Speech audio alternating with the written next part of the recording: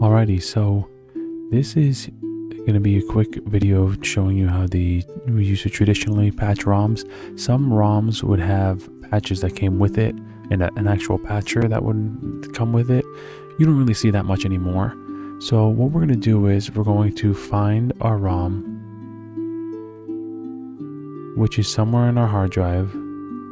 So for me, it's through here N64 ROMs. Let's look for, let's look at Ocarina of Time. Ocarina of Time, mods and hacks, 1.0 ROM. Now we have one that is .z64 and one that is .n64. These are different. These are both 1.0. There's Z64 and N64 and they're even though if you play them you might not notice it but the way they behave is a little bit different and usually the patches will tell you oh you need .n64 or .z64 so that's going to be the hardest part for you to get is a 1.0 ROM that's both of those .z64 and .n64 because different different patches need different ROMs. This one needs .z64. So we're going to put .z64 up here in the top in the ROM file. In the patch file, we're going to go back to where our hacks are, our patches, the .bps files usually is what they are.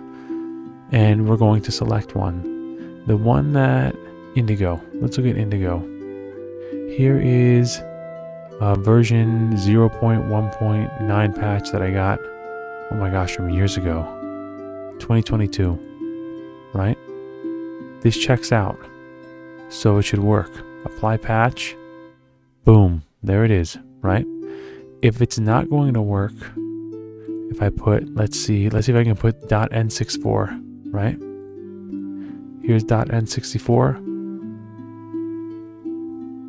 source ROM checksum mismatch. So it will not work with a .n64 ROM for this one, but that might work for another one or another a different ROM that we had that I had or a different patch that I had. So again, if you want to do the Indigo, you need dot .z64, and usually the people that that created the patch will say it.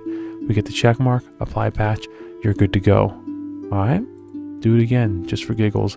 Boom, there it is getting the dot .z64 and the dot .n64 if you are somebody that enjoys uh, playing Legend of Zelda Ocarina of Time ROM hacks is essential. You need to have the right version of the game.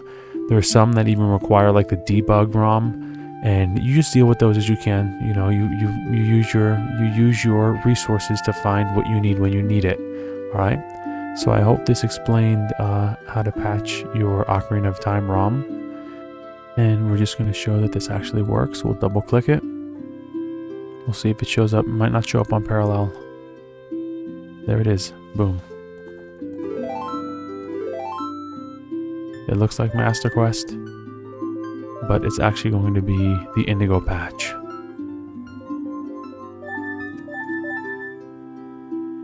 Boom. Alright, this is definitely not Master Quest. Alright. Now it looks kind of jank. I think they wanted Project 64 3.0. Uh, it looks a little bit janky in parallel, but that's okay. It's probably not the correct plugin setup. Alright, so there it is. It works. Use your .z64 ROM for that patch, alright? Bye.